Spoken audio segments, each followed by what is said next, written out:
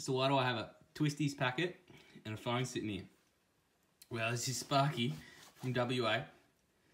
He uh, just recently tried to get his job back, claimed unfair dismissal, held against him because they found he was putting his PDA, which is his personal device, would have all his jobs on it, and a GPS tracker to work out where he is so they can, you know, know where he's at. He's put it inside Twisties packet and gone and played golf. Now, the whole idea behind this was he telling me somewhere he wasn't, that I'd have no way to prove it, and he was getting away with it 140 times, they reckon, and they can prove at least 26 in the month of April alone. So I was thinking, well, does it work? Does this Twisties packet make a Faraday cage? Well, there's only one way to find out, so I did a little test.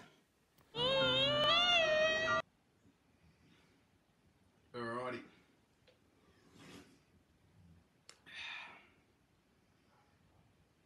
As with all tests, we must properly document a control.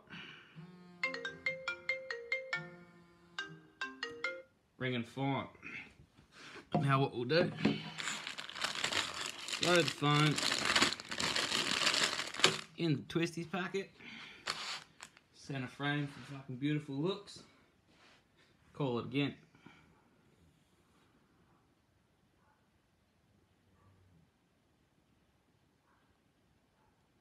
The person you have called is not available.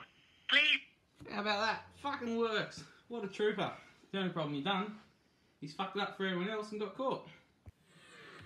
If you like my videos, subscribe. Oh, or don't. Can't make you do shit. No worries. Give me some twisties. Twisties are what I need. Segways. Give me some.